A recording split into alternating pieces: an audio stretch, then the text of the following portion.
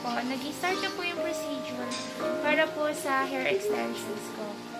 So, andito na po sila.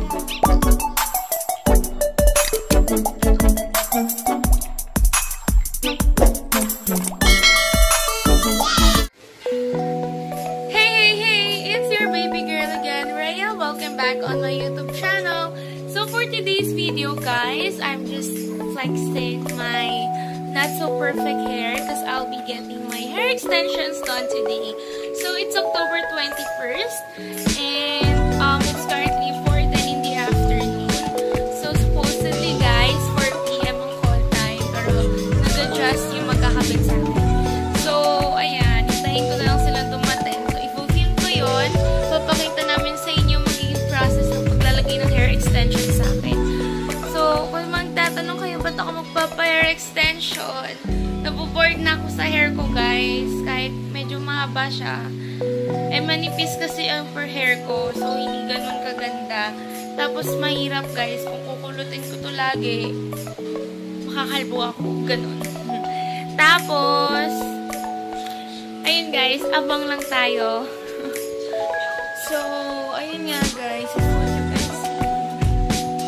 Magano muna tayo ng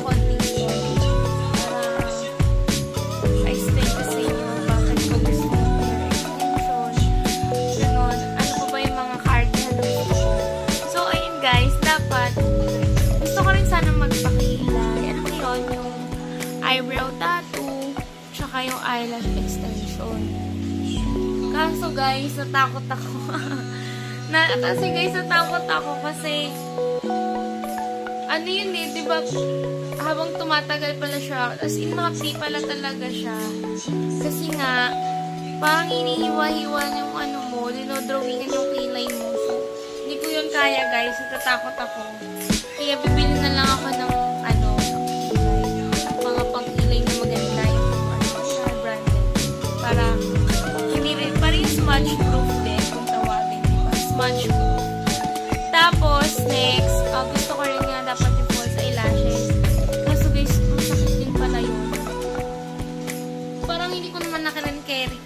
Kung magpapalagay pa ako ng ganun. Pero guys, yun ang mga gusto kong, yung mga plano ko. So, yung sa tit ko guys, sure na yun, magpapa, magpapa ceramic braces ako guys. Kasi di ba may braces ako nung nakaraan. Kaso, hindi ako nakapag-retainer. So, ayun, medyo bumabalik yung ipin ko.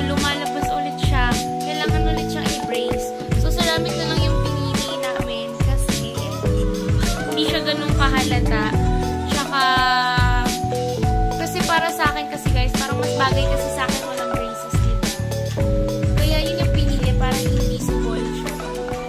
Hindi mo siya totally invisible. Pero, hindi siya ganun kahalata sa ngipin. Maganda pa rin tingnan. Tsaka di ba uso yun guys? So, ayun. Yun kasi yung mga bala kong gawin talaga pagka sumweldo ako dito sa FB.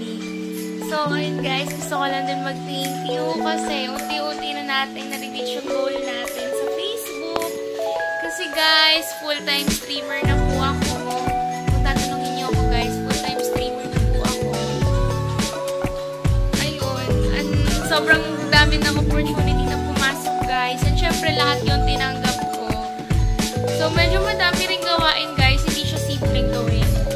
Pero masaya siya, kahit maraming ginagawa. Kasi yun lang gagawin mo, ilalagay mo lang naman doon, itatrack mo lang naman, di ba? Ayaw ka pa ba? So ayun guys, thank you. Ayan. Kasi kung hindi dahil sa inyo, kung hindi kayo nanonood, kung walang bashers, kung walang kung walang sumusuport, diba, paano ako mapupunta sa ganito? So, super thank you. Ayan, guys. Ayan. Makikita nyo later paano ikakabit.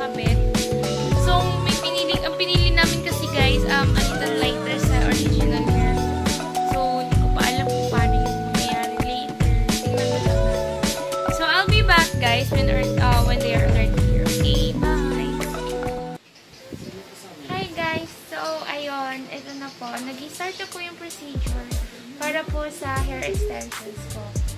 So, andito na po sila ate. Hello. so, ayun guys, makikita niya later paano po ba ginagawa yung process ng hair extension. So, ayun guys, as of now, kinukulayan pa lang po yung hair ko para po mas perfect match dun sa ikakabit hair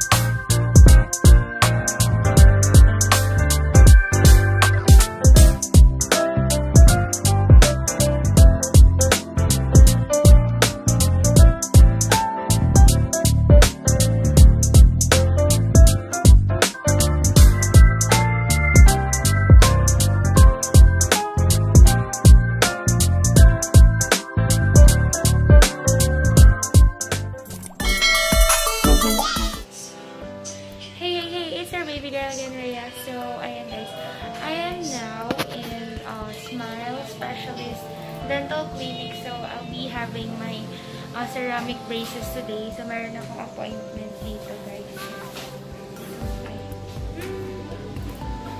So, ito yung outfit ko, guys. Pakita ko sa inyo. So, mag-fill up lang ako. And then, ayan na. So,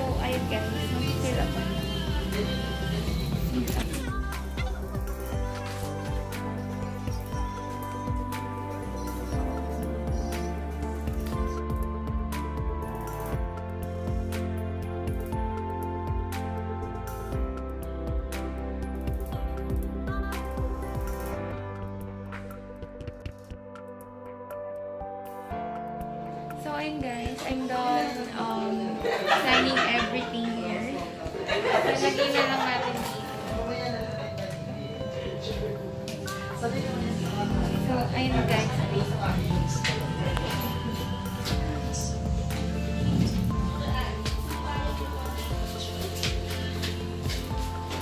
So, ayun guys. Let's hear, uh, let's eat muna dito.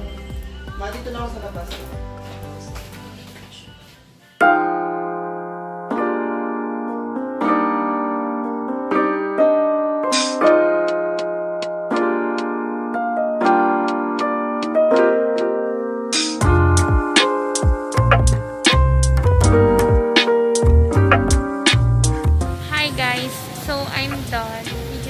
Out of the clinic. Ayan. So, ayun. Tapos, so yun guys, nahintay na lang kami ng Grab. Nagpasundo na kami sa Grab. So, nagpa-Grab ako guys. So, tingnan ko guys ang snack ko. Ayan guys. Pakita ko na lang later.